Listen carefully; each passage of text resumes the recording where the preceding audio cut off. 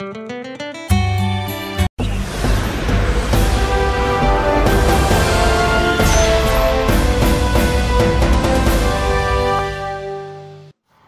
और आप देख रहे हैं पल पल। आम आदमी पार्टी को चुनाव के दौरान एक बड़ा झटका लगा है। आप आप पार्टी के युवा जिलाध्यक्ष विकास तंवर ने सैकड़ों समर्थकों के साथ पार्टी से त्याग पत्र दिया। किस पार्टी में शामिल होंगे? समर्थकों की बैठक के पश्चात तय किया जाएगा। पल पल कैथल से नवीन मल्होत्रा की विशेष रिपोर्ट। कैथल में आज उस समय आम आदमी पार्टी और जन नायक जनता पार्टी को एक बड़ा झटका लगा जब आम आदमी पार्टी के युवा जिला अध्यक्ष विकास तंवर ने अपने समर्थकों सहित अपने पद से प्राथमिकता के आधार पर इस्तीफा दे दिया। जहाँ चुनावी माहौल में लोग घर घर जाकर के वोटों की अपील कर रहे हैं तो उधर विकास तंवर आम आदमी पार्टी के युवा जिलाध्यक्ष ने और उस समय अपने समर्थकों के साथ इस्तीफा दिया है। इससे जन नायक जनता पार्टी को बड़ा नुकसान हो सकता है। उन्होंने कहा कि अन्ना आंदोलन के दौरान आम आदमी पार्टी अस्तित्व में आई थी और भ्रष्टाचार के विरोध एक मुहिम शुरू की थी। वहीं उन्होंने कांग्रेस को भ्रष्टाचार वाली पार्टी बताया था। हम उस पार्टी से जुड़ गए थे और एक कार्यकर्ता के रूप में काम करने लगे।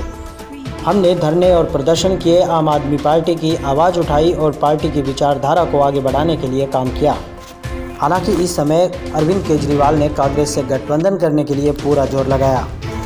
जिन लोगों को उन्होंने चोर और भ्रष्टाचारी बताया था, उन लोगों के पीछे हाथ जोड़ करके गठबंधन की बात करते नज़र आए थे, जिससे मेरा और मेरे कार्यकर्ताओं का विश्वास उठ गया और हम लोग नाराज़ हैं, जिससे मैं पूरी तरह से आहत हो चुका हूँ और इसीलिए पार्टी से त्याग पत्र दे रहा हूँ। आप देख रहे हैं पल पल की ये खास रिपोर्ट। यार वो तो पहुँचने वाले हैं तो फिर वो हमारा रिपोर्ट खराब है आगे जी। आ लिए तो आ लिए बैठ जाओ। आज की प्रेस कॉन्फ्रेंस का उद्देश्य ये है कि जब आज से तीन साल पहले मैंने आम आदमी पार्टी ज्वाइन की उस समय एक विचारधारा विचारधारा के तहत जो अरविंद केजरीवाल जी ने भ्रष्टाचार के खिलाफ मुहिम स्टार्ट की उनका जो जोश और जो जुनून था उससे प्रेरित होकर मैंने और मेरे समर्थकों ने उनके हाथ मज़बूत करने के लिए ये पार्टी ज्वाइन की थी। लेकिन समय के साथ साथ जैसे अब हमने अभी बिल्कुल रिसेंटली देखा कि जिस शीला दीक्षित को वो कहते थे कि वो जेल में डालेंगे आज उन्हीं के पीछे पीछे आ, समर्थन की भीख मांगते हुए जब हमें अपना नेता नज़र आता है तो हमारी आत्मा को दुख पहुँचता है। और कांग्रेस से बार बार आ, रिक्वेस्ट करना कि हमें समर्थन करो।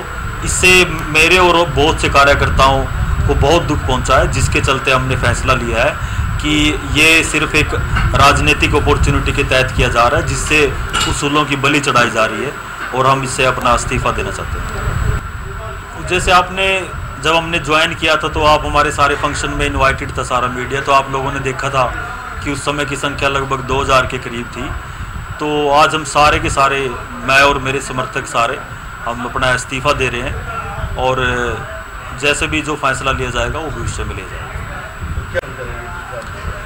वो मीटिंग हमने आज शाम को बुलाई है और उसमें सारे समर्थक और जितना भी भाईचारा है जो मेरे साथ हर विरोध प्रदर्शन में हर जाम लगाने में जितने प्रदर्शन किए केस हुए हमारे सा, इन साथियों के ऊपर तो सबको बैठा के हर पहलू पे गौर करने के बाद ही कोई राजनीतिक फैसला लिया जाएगा, क्योंकि आज तो राजनीतिक सारे विकल्प खुले हैं हमारे लिए। ये हमने रिटर्न इस्तीफ़ा यहाँ के प्रदेश अध्यक्ष श्री नवीन जैन जी को भेजा। और उसमें यही कहा है कि भाई, जिन असूलों से ये पार्टी शुरू हुई थी और उस वक्त की जो मौके की सरकार थी, उनके जितने कैबिनेट के मंत्री थे, आप लोगों ने उनके फ़ोटो लगाए थे और कहा था कि ये लोग चोर हैं।